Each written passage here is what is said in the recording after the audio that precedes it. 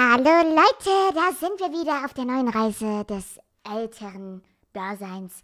Ich werde dieses Jahr 18 und habe gar keinen Bock auf mein Leben. Ja, ja, ja. Ich habe das letztes Jahr auch schon gemacht. SpongeBob, hör auf, leg!